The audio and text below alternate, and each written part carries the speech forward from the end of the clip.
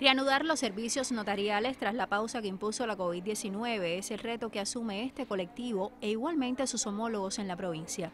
Dar curso a una amplia gama de trámites que solicitan los usuarios se realizan actualmente de manera gradual. Hablamos de todos los trámites solicitados por la población, entiéndase compraventas, permutas, los poderes, las autorizaciones para que los menores de edad puedan viajar, testamentos, para garantizar además el cumplimiento de las medidas por la situación epidemiológica que afrontamos, con un número determinado de personas al día, o sea, 50 personas diarias de lunes a viernes a las 8 de la mañana.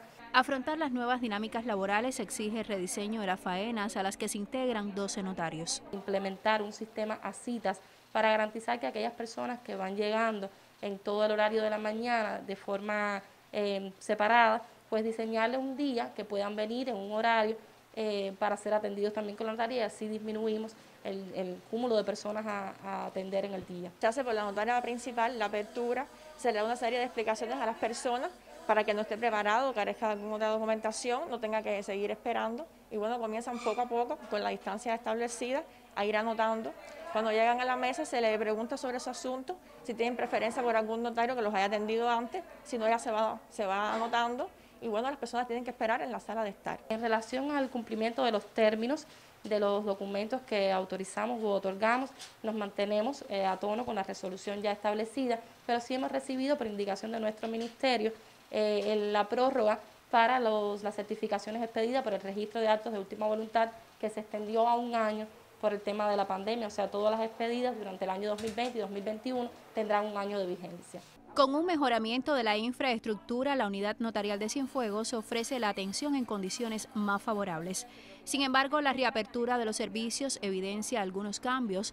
Por ejemplo, la formalización de matrimonios solo se concibe los lunes y miércoles, de manera que pueda cumplimentarse el protocolo de este simbólico acto familiar, así como jurídico. Son muy profesionales, tienen mucha ética con todo Ahora con este problema del COVID tienen todo su distanciamiento social, las medidas de seguridad y todo. Y además agilizan el trámite lo más rápido posible, sea de vivienda, sea de casamiento, sea de cualquier gestión que puedan acudirles a ellos. Para el trámite necesitó algún sello timbrado, lo encontró Sí, sí, en el correo se encontró el sello de 5 pesos que era el que necesitaba. Se retoma un necesario que hacer para impulsar el trabajo jurídico que les une a las demandas ciudadanas. Por ello, la Unidad Notarial de Cienfuegos acompaña al pueblo en ese asesoramiento imprescindible cuando se asumen trámites legales. Mayelín del Sol, Notisur.